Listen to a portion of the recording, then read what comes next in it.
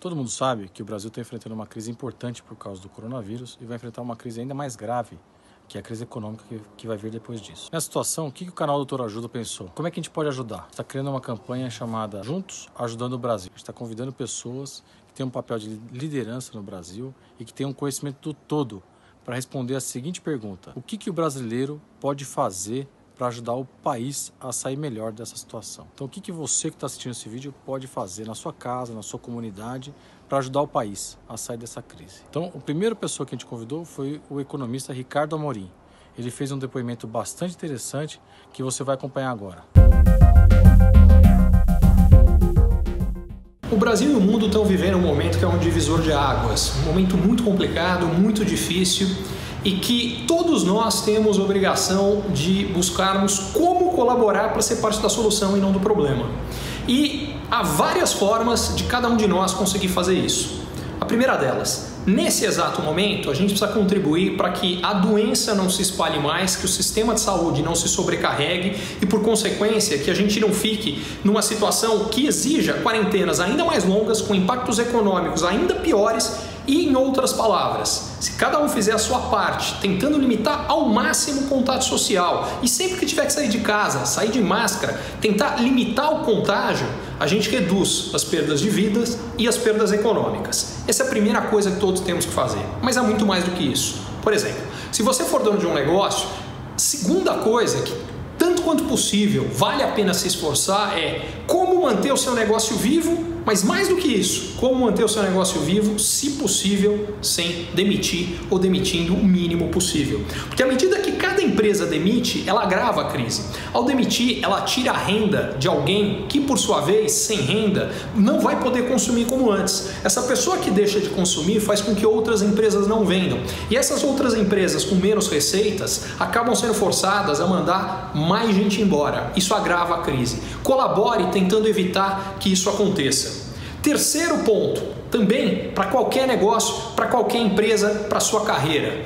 Tenta pensar a realidade vai mudar e o que você pode fazer, o que você pode criar para ajudar num ambiente que não vai ser igual ao que era antes. A gente não vai ter uma versão remendada do passado, a gente vai ter coisas novas. Como é que transformação digital vai mudar o Brasil? O que você pode fazer para ajudar? Como é que busca por produtos novos que antes não eram necessários, mas que agora vão ser mais? podem gerar oportunidades para você e você pode ajudar mais uma vez o Brasil fazendo isso.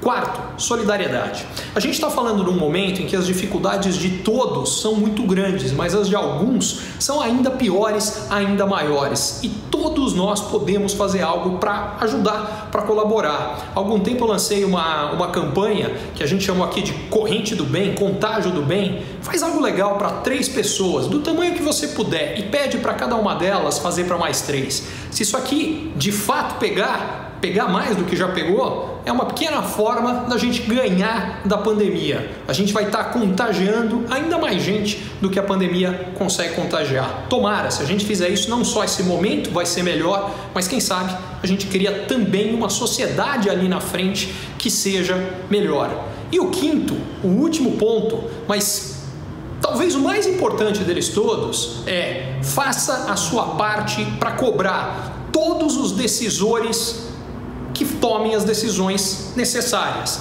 Isso é particularmente verdade em relação ao governo e em relação aos políticos brasileiros. É inadmissível que no momento em que todos os brasileiros passamos por dificuldades imensas e os sacrifícios são gerais, gente perdendo emprego, gente tendo redução de salário, empresas quebrando, que a gente não veja o setor público respondendo da mesma forma. Os políticos não cortaram seus salários, os políticos não tiveram o uso, coisa que está acontecendo em outros países, aliás, o uso de recursos de fundo partidário, de fundo eleitoral para combater o coronavírus, para combater os impactos econômicos negativos. A gente precisa exigir isso de todos eles. O que eu diria é: não vote em absolutamente ninguém, não reeleja ninguém que não batalhe para fazer com que as dores, as dificuldades sejam divididas, inclusive entre eles mesmos. Fazendo tudo isso, certamente se ajuda o Brasil a sair melhor, a sair mais forte desse momento.